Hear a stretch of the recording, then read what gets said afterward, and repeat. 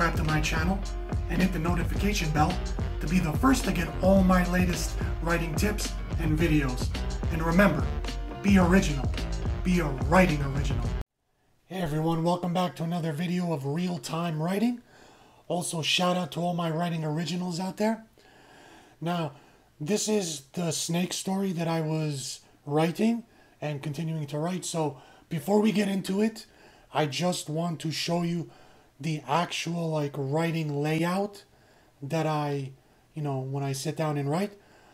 Um, I also wanted to take a picture of my chair because I had before a very uncomfortable chair and it was like falling apart. It was rickety. Every time I sat on it, like it'd make all these squeaky sounds. So I had to get a new chair because that was really distracting me, you know, making me uncomfortable and I couldn't really write that long because my back was hurting because of it.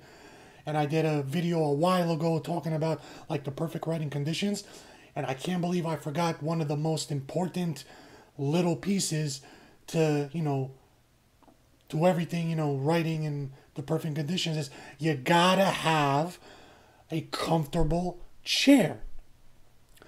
So I went out and got this chair, and it's a thousand times more comfortable and I love it. And because of that, it helped me to write longer and more and all that. So here's my writing setup. Um, it's just a binder, which again, I had another video showing you this uh, writing trick, which um, I love this. It helps me so much. Um, I just have a binder with, uh, you know, loose leaf paper in there. And um, I just have a pencil, a big eraser, and you know, a sharpener. And I have a lot more pencils like off to the side, so it's not just like one pencil. But I'm constantly sharpening it, of course. So, you know, whenever I mess up on a page, instead of like rewriting the whole page or ripping it out and saving it, and, you know, you can check out my other video of how bad my notebooks actually got before I did this trick. If I mess up on a page, I just rip it out, you know, crumble it up, throw it away, and then insert the new page um, uh, you know, a blank page in the proper order, and I just continue. And if you can see to the left side, all like on the floor, kind of, you can see a lot of like crumbled up pieces of paper, and you know, I do that a lot because with any writer, you make mistakes or you don't like how you write it, or you you know you change your mind, or so I have like a big pile of crumbled up pieces of paper. Now, this notepad off to the side is the notepad where I take bullet points and I write them down of the scene that I'm going to write. Like, whenever I come up with an idea for that scene, I jot it down instantly before it escapes my brain. And when I say, like, okay, so how are we going to start this scene? Who's going to come in? Who, what is he going to say? You know, how is it going to break down? Well, I make little bullet points. I'm like, okay, so this character walks in with a knife, and then this guy, you know, says this to him, and then you know this happens so it's kind of like my bullet points and and then whenever i incorporate them in the story and i'm i'm you know i'm done using them i just cross them out. So this is my actual setup. I even showed you like i left the little stories on the and bullet points on the paper to show you that i'm actually writing something. I'm not pulling it out of you know the thin air. It's actually me writing doing this in real time. So let's uh, get into the story now. So let's elaborate on the cast. Because when I first started out with this story, I didn't even have names. I had basic concepts of what I wanted the characters to be, but I actually came up with names. And again, um, I this might change a million times over, but so far this is the best names I could come up with. So let's get right into it. There's not many characters because it's a short story. So you got Will.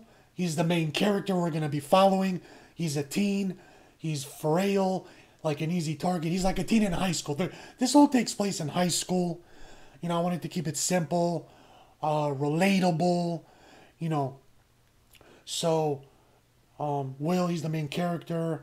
He gets bullied a lot. And, and there we go. He's afraid of snakes. Because this whole theme of the story is fear. Everybody has some type of fear that they have to either deal with, overcome, and based on how they deal with it, changes their personality. Maybe they evolve, devolve in the end. You know, they do certain things based on that. So he's afraid of snakes, terrified of snakes. Then you got Gabe, his best friend, uh, also in high school. Um, again, this is just, you know, semantics. This could change at any time. He's skinny but athletic. You know, whatever else I can come up with better, it's fine. He's Will's best friend. Okay? Um, you know, he kind of protects Will from when he gets bullied, but he also gets bullied himself. So they're not popular. I don't want to say they're outcasts, but they're just whatever, you know? Then you got Grandpa Jack. He's like a war torn, you know, guy. You know, he's no bullshit. He's, you know, lives on a ranch. He's like works nonstop. He's got like this hard problem that he's dealing with, taking pills and stuff. So that'll come into play. And he's Gabe's grandpa. Not Will's, but he's Gabe's grandpa. But, you know, basically they're like family with Will anyway. Best friends, they treat him like family anyway. So there you go. All right. Now, Marvin. He is like the main antagonist, which means like the bad guy. He's the bully. He's like, a, again, a teen in high school. He's a football player, but he's like, instead of going with the, you know, good looking, you know, popular, like, yeah, he's popular too, but he's not the good looking jock that, you know, he wins the, what do you call the prom king thing? No, he's like this fat, slovenly, fat ass linebacker. But because he's like a football player, he's considered like he's super popular, part of the cool crowd with the hot cheerleaders. And, you know, they run the school, they're untouchable. So he's, you know, goofy looking, he has like big ears, you know, he's like fat stomach hanging over his, you know, pants. But he's popular because he's on a football team and he's bullying Will and he's bullying Gabe. And there you go. Um, he's also afraid of something. I'm not going to tell you what yet. That's towards the third part ending. Oh, Gabe is also afraid of something. You'll find that out in a you know next couple of next couple of videos. But everybody's afraid of something. Um, then finally, Liz, teen, um, in high school, she's the cheerleader. She's not like the head cheerleader. She's part of the cheerleading squad, but I wanted to give her a little bit more depth and not make her so cliche. So she's not like she's like still a cheerleader, but she's kind of like yes, part of the popular crowd, but she kind of doesn't want to be. You know, she's kind of like what you call new money instead of old money. You know, like she has all the, you know, quote unquote money and popularity, but she really doesn't want it. She's not a, wants to be a part of that crowd. She'll take the perks when she wants to, but and she's dating now she's dating Will. She used to date Marvin. But because he's such a jerk and bullying everybody, beating everybody up, and just being an asshole, she's like, I don't want to be like a part of this fake group with the fake cheerleading girls. I don't want that. So I don't want to say she's like shunned, but they kind of like pushed her away. And she's fine with that. She's like, you know, I'm going to date somebody with a good personality who's a nice guy, blah, blah, blah, whatever. You know what I'm saying? So that's how her personality is. So there we go. Let's start with the actual story. Alright, so let's get into the story fade in. I want to make a quick disclaimer though. Um, this is a pre draft, which means it's very rough, sloppy. I just got something down on the paper. Um, and I also want to mention that my weakness in screenplay writing is writing, um, you know, character description or action description. That's my weakness. I know I got to tighten it up, pull out a thesaurus, and make it, you know, way, way better. But my strengths are dialogue and story structure and, you know, character development and all that. So, so just bear with me. I know it's gonna suck, um, structurally at least, you know. So let's get into it. Fade in. Exterior ranch house day. So you know it's in the you know daytime outside, picturing like a nice ranch house. Now I describe the ranch house. Tranquil meadow, straight out of a painted greeting card. Um, with a barn style, you know, fence included, and tall grass. So you can kind of get an image of how it kind of looks like, very beautiful. Um, so now we meet our main character, Will. So Will, uh, teen, frail, um, marches on the dirt road toward the house, worried look on his face, also has a lot of bruises. So bruises on his face too. Also, cats can be heard meowing. You know, you could hear in the background them. So there's cats on the, you know, um, on the ranch. So his eyes dart to the center of the lawn. Um, a small disturbed patch of grass. So he notices like out of the nice tall grass, there's a little patch that's disturbed there. It's flat. It's something's going on there. So uh, Will, uh, Will stops in his tracks and makes a beeline for a closer look. He comes across a mini crime scene, um, but no body. And so it's like a, I'm well actually it's a crime scene. I wrote crime scene of a kitten, but no body. So it's not actually a person. It's a cat. So some cat got you know something happened to a cat, and in the grass, only thing left in the grass is an outline covered in foamy white slime, few cotton balls of orange hair and a sprinkle drops of blood. So you see the, you know, the picture I'm painting, and the cat doesn't have to be orange. I just can make it what color. It's not essential to the story. So you can, and also a handful of cats uh, surround the spot all morning, meowing like a funeral. So mourning meows like a funeral. So they're around, you know, feeling sad because it's probably you know, a cat that they knew. And so I'm giving you the picture of what's going on. And, you know, you got the slimy foam. You don't know, well, what happened to the cat? How, what's all this slimy foam? What's the, you know, there's blood, so something must have happened. What's going on? So I know it's rough, but, you know, you can help me out. Uh, leave in the comments. And if you come up with ideas, help me out. And it's all good, you know? Let's continue. All right, so let's continue. Um, so, rustling of brush is heard in the distance. Now, I'm not sure how to say rustling. Is it, you know, brush rustling, rustling of brush, ah, whatever. Suddenly, the mood changes. All the cats are on their toes. Will looks out through the field but sees nothing. Um, the cats hiss in distress. Hair puffs out. One by one, they scatter leaving Will on his own.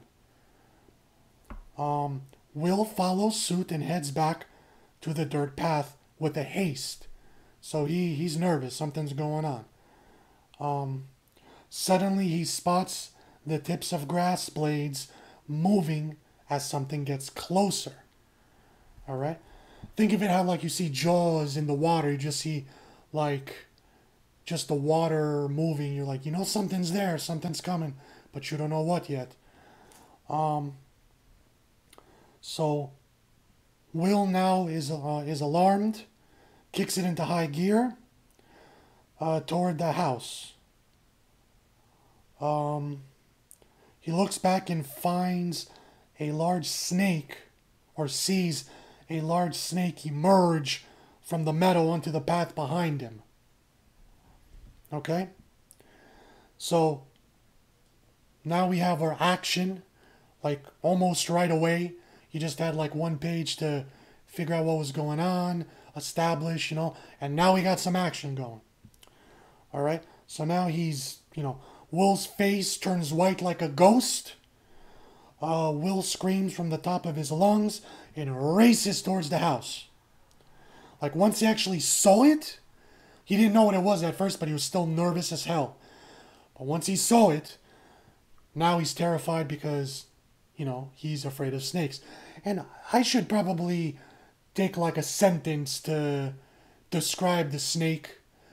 You know, it's a long, I said what, a long snake, a big snake. I could have been a little bit more detailed, so I'll go back and change that. Um, but I don't want to be too specific. Um, he's just like a long snake, maybe a garter snake, non-poisonous, something like that, because I use that later in the movie. A garter snake, it's it's harmless, but it's big. It's kind of intimidating.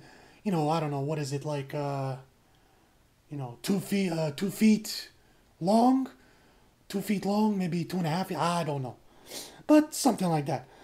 So uh, Will screams from the top of his lungs and races towards the house. The snake slithers after him. So all right, let's let's continue now.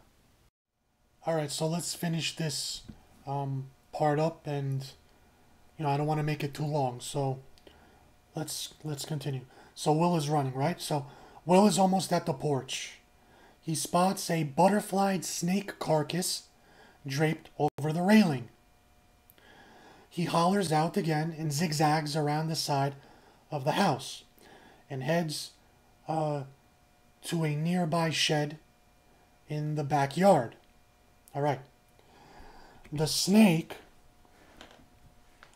um, already caught up to him. Will runs into the rickety door. So he like slams into the door. He tugs on the um, handle but it's locked with a deadbolt, so nowhere to go. Will turns around yelling for help, uh, echoes throughout the forest. Um, the snake quickly closes in, so he's about to get Will. Will has nowhere to go, trapped. The snake uh, is feet away from attack.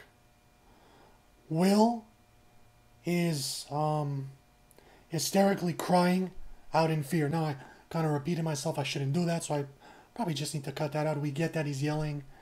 But, okay. You know, I'm still learning, you know, learning process.